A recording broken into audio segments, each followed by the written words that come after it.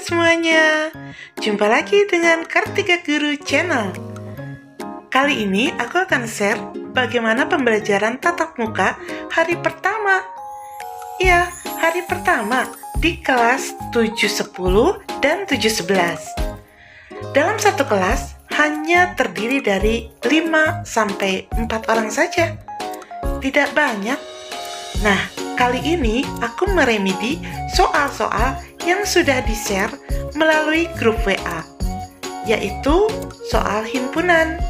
Mereka belajarnya melalui daring dan melalui video pembelajaran. Ternyata setelah aku tanya bagaimana materi yang sudah diberikan melalui video pembelajaran yang kalian terima pada saat daring, jawabannya adalah mereka diam. Mereka tidak menjawab. Pertanyaannya adalah, apakah mereka itu tidak membaca video pembelajaran? Bisa jadi, kemungkinan video pembelajaran yang di-share melalui grup WA memang tidak semua membaca. Terbukti dari viewer. Kalau misalnya dalam satu kelas 32 siswa, mungkin ada sekitar 150 siswa yang harus membuka video pembelajaran. Tapi kenyataannya viewernya hanya 40. Dan itu pun mungkin bukan hanya sekolah kita, tapi juga umum.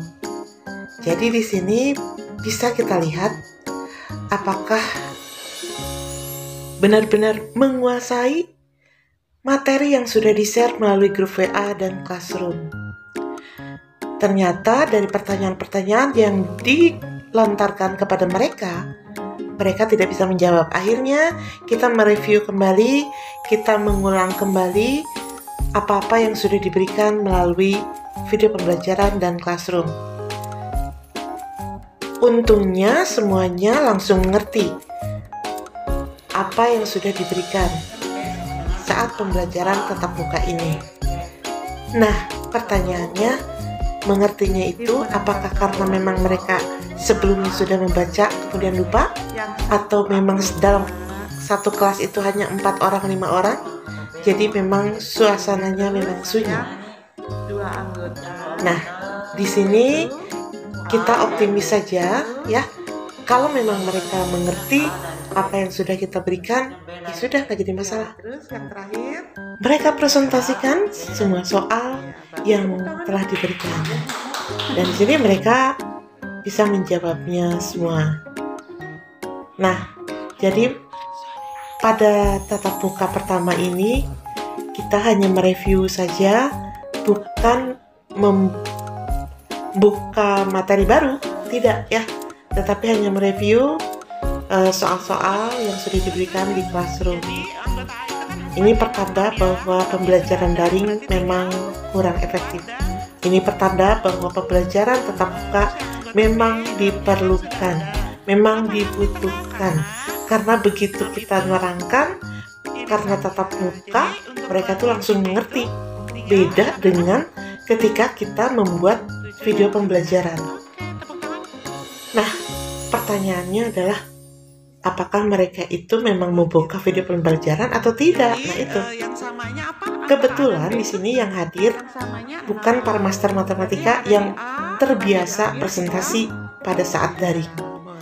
Ini adalah mereka yang terbiasa mengumpulkan tugasnya di classroom, tapi tidak terbiasa dengan presentasi. Memang dalam satu kelas itu hanya lima orang, berarti mungkin di hari lain ketemu dengan para master matematika. Dan pastinya mereka sudah bisa menjawab. Nah ini adalah salah satu siswa yang katanya deg-degan ketika presentasi, tapi memang harus dicoba. Kalau memang mereka itu meng, tidak mengerti itu bisa menjadi sebuah diskusi di depan ya. itu. Dan pada akhirnya siswa akan mengingat terus apa yang mereka tulis atau apa yang mereka jawab. Nah, jadi dengan presentasi itu akan lebih nyerap ke otak Apa coba bilang? anak. Aduh, ya Seperti itu ya. Oke, mudah-mudahan uh, ini sharing bisa bermanfaat. Ambil yang baiknya, Ya. buang yang jeleknya. Terima kasih. Wassalamualaikum warahmatullahi wabarakatuh.